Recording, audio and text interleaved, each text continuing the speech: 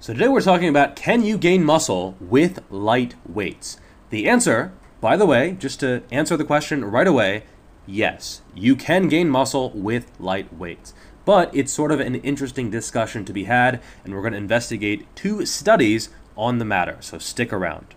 We're also going to talk about how to implement them into your training and the positives and negatives of training with light weights. So the first study, Burd et al. from 2010, they compared three different groups. So they had a 30% group, a 90% group, and then a 30% group that did the same amount of work as the 90% group. Now, for most people, if you lifted weights, you'll know that you can do more total work with a lighter weight. So what they did was they matched the 90 and the 30%, and then they had a 30% group that just kept going until failure and the results are actually very, very interesting. Four hours post exercise, there was the most muscle protein synthesis in the 90% group.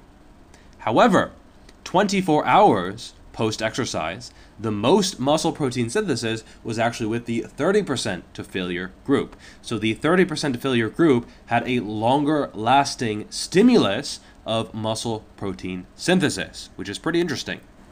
And even more interestingly, the 30% weights 24 hours post exercise stimulated both the myofibrillar hypertrophy but also the sarcoplasmic hypertrophy. So the first is the actual muscle fiber, and the second is almost like the fuel tank surrounding that muscle fiber. And the 30% weights stimulated both more than the heavy weights, at least 24 hours post exercise, which is honestly amazing. Honestly, pretty mind blowing, and I don't think many people would have predicted this outcome.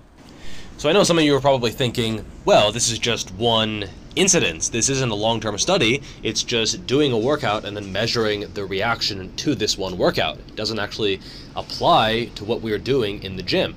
And so, actually, two years later, there was another study that had a 10 week protocol and they actually measured results before and after and not just how much muscle growth was stimulated but how much muscle growth actually occurred over this two and a half month period.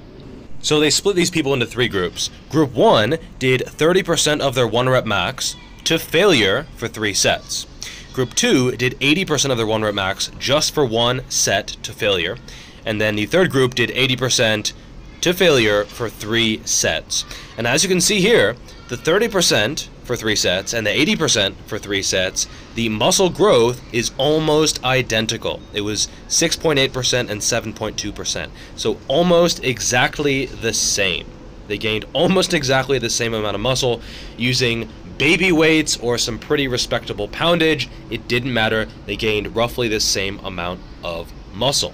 Now, this 80% group for one in the middle is actually pretty interesting because it shows that intensity, the absolute poundage, is not going to be nearly as important as the volume. So the number of sets was what really mattered, as well as going close to failure.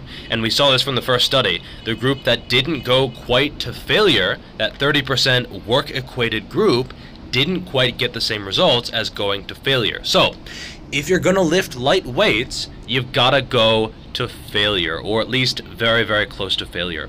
One thing to keep in mind is that these are beginners.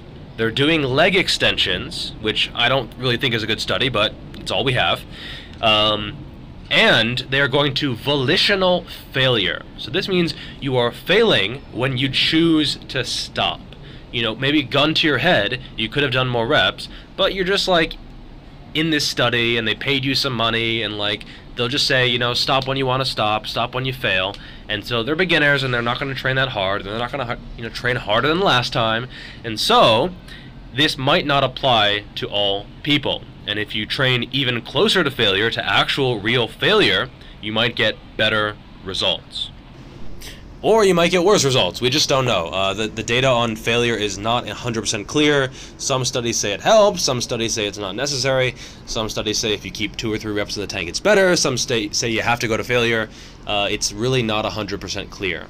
But what is clear is that you can gain muscle with very, very light weights. I mean, 30% of your one rep max, that is baby weight.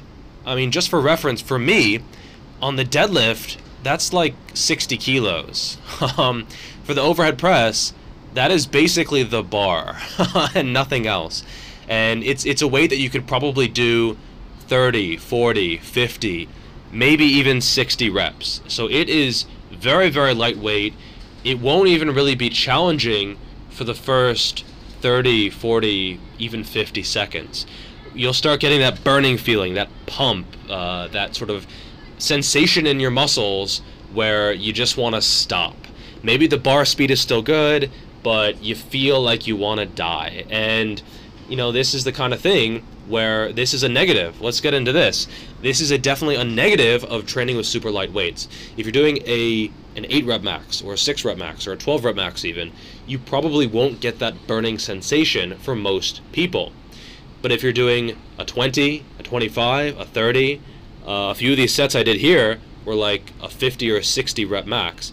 And yeah, you're definitely going to get a very, very uncomfortable sensation near the end of that set. And if you don't, you're a genetic freak or you're probably not training very hard. You're using way too light of weights. But if you're training with light weights close to failure, actual failure, uh, it's going to be very, very unpleasant. Another negative of very light weights is that you won't build your strength. So strength is very neurological. It's based on technique. It's skill based. Uh, it's based on practice. And if you're using 80% weights, you can absolutely improve your strength. But below 60%, probably not. And 30%, no way. It's not going to do very much for your strength. Maybe on a leg extension, as you can see here, their strength did go up a little bit, but these are complete beginners, and a leg extension does not take very much skill. In fact, I can't think of an exercise that uses less skill than a leg extension. If it's something like a squat, you need to experience heavy weight to get better at lifting heavy weight. Another negative is the mind-muscle connection. You really do need to focus on the muscles involved if you're doing these high reps. If you're just like swinging the weight or you're not really contracting the muscle, you probably won't get very much out of it. You really do need to focus on what you're doing. Also, you basically have to go quite close to failure or you'll, you'll get basically no benefit from it. Uh, whereas with heavier weights, you'll still get benefit uh, just because it is heavy. But if it's light, you gotta push close to failure, which again is very, very uncomfortable and can burn and feel really, really bad. Furthermore, this type of training can cause soreness, a lot of soreness. Uh, if you're doing a bunch of sets of three or four or five, yeah, you might get a little sore. But if you're doing multiple sets of 40 or 50 to failure, oh my lord. My hamstrings are still sore, my biceps are sore, uh, my triceps are sore, a lot of my body is sore just from doing these high rep sets. My wrists, my, my forearms as well, um, it, it just creates a lot of muscle damage and a lot of disruption to that area. Also keep in mind that not every exercise can be done for high reps. If you're doing front squats for high reps, probably not a great idea. If you're doing Olympic lifting for high reps, definitely not a good idea. And if you say like, well, they do it in CrossFit, yeah, I'm calling CrossFit stupid. Okay, so don't justify a movement by saying CrossFit does it, because that is the worst justification ever. And if you try to do that, I'm gonna yell at you, okay? So don't do it. Finally, and I don't have a study to back this up, it's just personal experience, this type of training, it doesn't work over a very long period of time. It, is, it works very well, very quickly, but your body adapts to it equally quickly. So if you want to put on some quick size, yeah, do a few higher rep sets. You'll get a great pump. You'll get increased glycogen storage. You'll get increased work capacity. Uh, you'll just have a lot more bloat in that area, for lack of a better word, and you, you might see some nice gains. But don't train that way all the time. Cycle it in, cycle it out. Uh, I would say your bread and butter should be a more moderate rep range.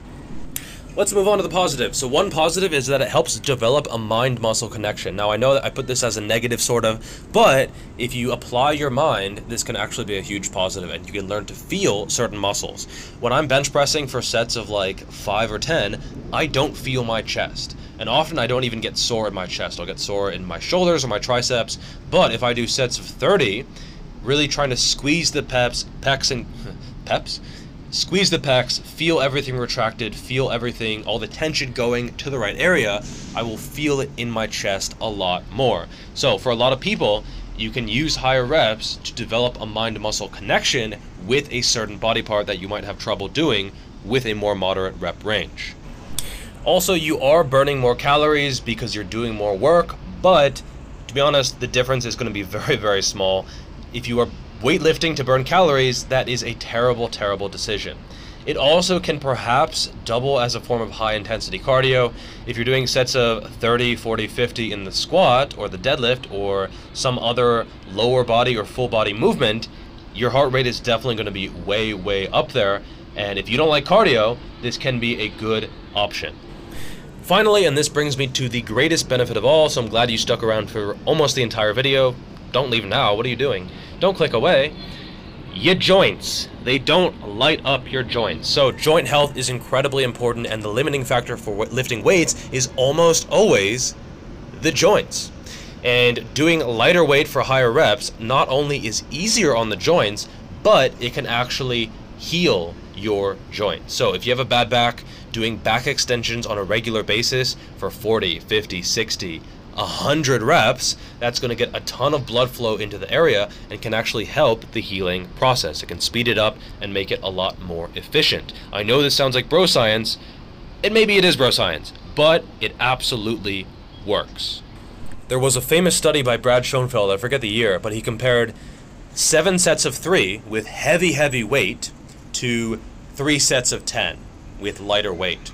And of course, the muscle growth was very similar. Volume was equated, and thus growth was the same. However, when asked after the study, you know, which group felt better, the group with lighter weights felt much better. They had much less joint pain and they got the same amount of muscle growth. So, in the long term, using lighter weights, at least occasionally, can be a very, very good strategy. In terms of how to implement this into your training, first of all, don't be afraid of it impacting your strength. It might a little bit in the very short term, but tons of strength athletes do higher reps. I think it is a myth that they really hurt your strength and it shouldn't have any kind of meaningful impact in the long term. Yeah, if you do a set of 50 to failure and then you try to max out afterwards, yeah, you might be like 5 or 10% weaker. But in the long term, if you get used to this, if you build your work capacity, it won't be an issue. If you look at like Larry Wheels, he did 225 for like 60 reps, 80 reps, and he's still a monster. So it's not like he got weaker from doing super high reps. Alright, that is all for today. Make sure to like the video, subscribe to the channel, and I will see you in that next video. Peace!